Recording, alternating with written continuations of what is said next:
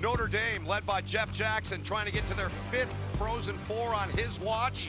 Both of these teams could explode at any moment. Morton has it. And he's crunched by Karashik. Oh, Adam Karashik lowering the boom. Quickly moved ahead. Landon Slaggert against McNeely. Puts on the brakes. Got a man coming. His brother. Graham Slaggert.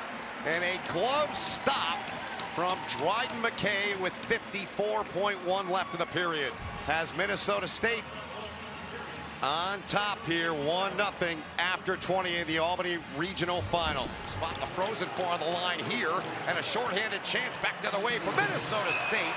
And Benton Maass with a shot though right into the breadbasket of Matt Galajda, eight seconds into Notre Dame's second power play chance of the game. Just chasing faceoff clears. Ellis to Strand, down to 20 to go in the period.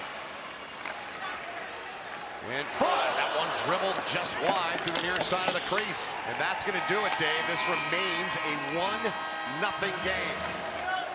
Battle continues. Ellis lobs one out to center. Strand couldn't get a handle. Silye's got it now for Minnesota State. Comes in, drags it. Good job, Karashik Mick, and he blocked shots. What a play by him. 100 blocks on the season. That's his fifth today. 80 seconds left now. Leivermann fakes it, snaps a shot. Rebound chance. Rolston there. They battle away. Minnesota State wins it 1-0.